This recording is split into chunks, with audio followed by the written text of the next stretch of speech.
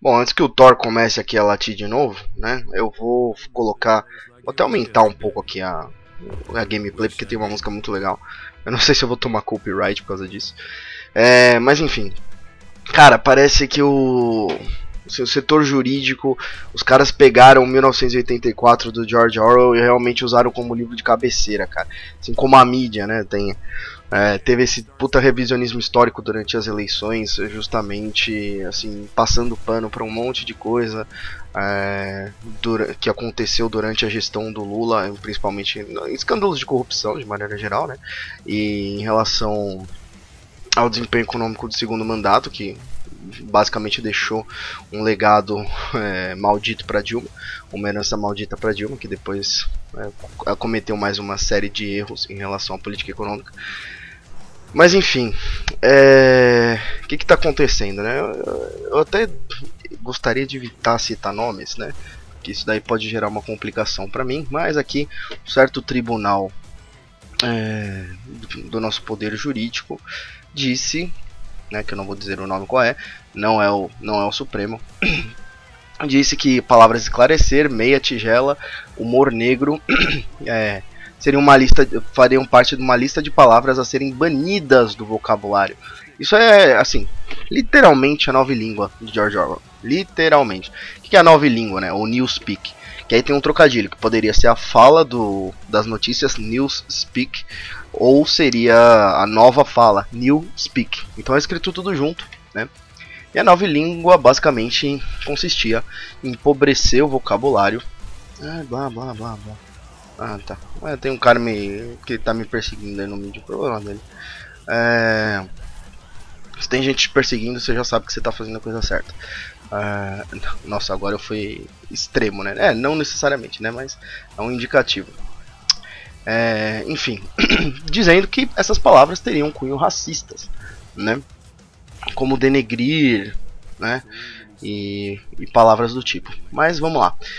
É, o racismo ele é uma forma de polilogismo, certo? Se vocês quiserem saber mais sobre isso, tem um vídeo de polilogismo aqui no canal e eu também recomendo os livros referentes a esse tema, tá? Os, os livros que tocam nesse tema do polilogismo, né? Todo tipo de doutrina, digamos assim, é, que implica que pessoas de grupos diferentes, no caso etnias, né, supostas raças, que não são raças, né, a mesma raça, mesma espécie, seja superior a outra, né? De modo que uma é, etnia seja superior a outra.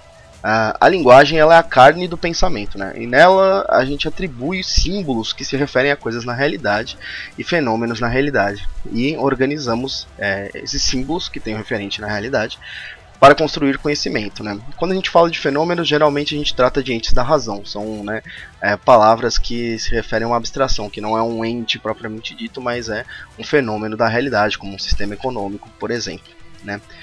É... Muito bem. E... Então a gente tem esses referenciais e a gente organiza esses referenciais na nossa mente para construir conhecimento, certo? Quem limita a linguagem limita o pensamento né? Necessariamente porque você eh, limita a forma que o pensamento se manifesta. E aí você não tem essa tradução da realidade e você não sabe exatamente dizer o, o, o que você quer se aquilo que você quer se referir, né? A linguagem é um meio de traduzir a realidade para si próprio e para o outro, né? É uma ordem espontânea, pois surge de forma evolutiva, visando fins individuais, mas que não é produto de uma única mente humana que planejou-a por completo, mas de interações e coordenação de expressões de um sem número de pessoas interagindo, certo? E essa questão da visão em linguagem simbólica, da, da visão não, da, claridade, né, da luz, é, que a visão é o principal sentido com o qual a gente apreende os objetos do mundo. A luz é uma condição necessária para que se enxergue, de modo que existe uma analogia antiga entre luz e conhecimento. A obscuridade, a ausência de luz, é uma condição na qual não se pode enxergar as coisas e, portanto, a apreensão delas se torna mais limitada. A ideia de esclarecimento é uma analogia entre luz e conhecimento, que também é presente no iluminismo, por exemplo, né? É, mas que não veio do iluminismo, né? é anterior ao iluminismo. É... Então, é, tornar claro implica em tornar compreensível algo com base nessa analogia entre luz e conhecimento. Né, uma linguagem simbólica, a linguagem em si já é simbólica, mas é uma linguagem simbólica antiga e anterior à mentalidade do racismo, certo? Uh, Tá, então essa complexidade do conhecimento disperso presente na linguagem faz com que tais interpretações arbitrárias, que até ignoram um pouco a história, é, e a tentativa do poder jurídico de controlá-las, seja mais um passo em direção ao totalitarismo. Né? Tanto é que Orwell, ao fazer uma caricatura do stalinismo no 1984, ele apontou que a nova língua era o principal instrumento de controle de pensamento, além do revisionismo histórico do Ministério da Verdade. Então não se enganem, amigos. Nós estamos vivendo em tempos sombrios em que se limita é, em desordem informacional a, a forma de que nós expressamos o passado, certo? Exatamente porque vai contra os fins de do, dos quais concernem, né, os fins é, para os quais esses caras do setor jurídico, poder jurídico, é, quer empregar o, a nossa própria história, o nosso próprio passado. Tá? Então fiquem espertos e lembrem-se, né? Em tempos, tempos difíceis geram pessoas fortes. Então aprendamos a ser fortes e vamos buscar conhecimento para evitar esse tipo de coisa. Então a leitura recomendada desse vídeo é... são os livros sobre polilogismo, que é o Governo Onipotente, Teoria e História e o Capítulo da Ação Humana, e é, 1984 do Orwell, né?